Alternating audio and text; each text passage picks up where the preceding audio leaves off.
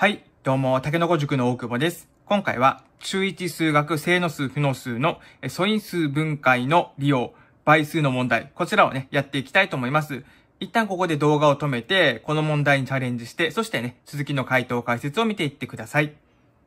はい。ではですね、問題の方を見ていきます。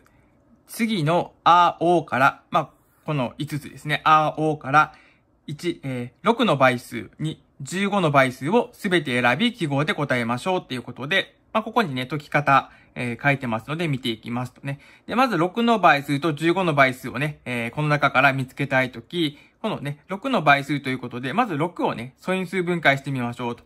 6を素因数分解すると、これは、2×3 になりますね。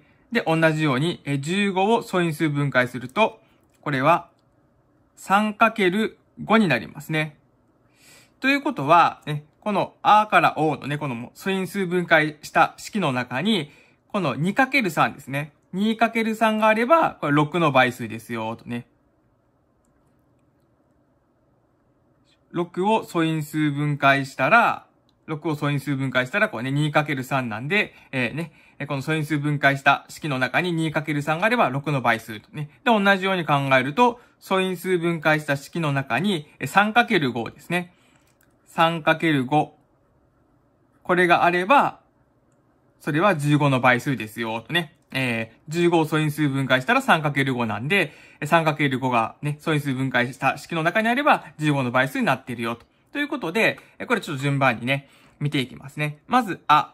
これはまあ、2の2乗かけ3かけ7なんで、2かけ2かけ3かけ7ですね。2かける2かける3かける7。まあそうすると、えこれ2かける3入ってますよね。ということは、あは、これね、6の倍数になりますよ、と。はい。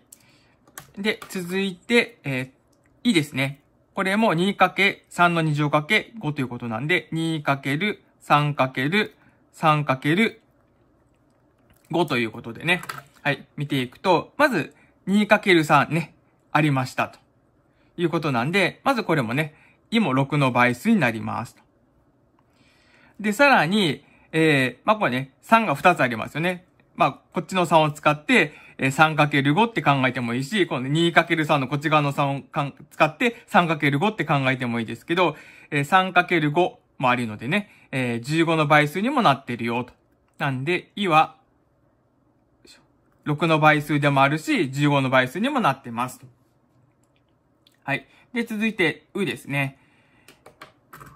これは、えー2の2乗かける5かける7なんで、2かける2かける5かける7で、えーこのね、2かける3も3かける5もね、入ってないので、これはね、6の倍数でも15の倍数でもないですと。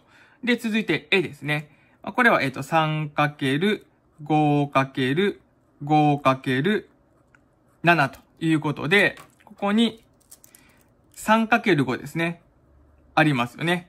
えー、まあ5二つあるので 3×5 ってこっちで考えてもいいんですけど、3×5 がね、あるので、これ15の倍数になりますということで、絵は15の倍数と。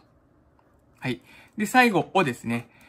3の2乗かける7かける11ってことなんで、3かける3かける7かける11で、はい。これはもうね、2×3 も 3×5 もないので、おも6の倍数でも15の倍数でもないよということで、え答えは6の倍数があと E ですね。で、15の倍数がいとえになります。はい、今回以上になります。最後までご覧いただきありがとうございました。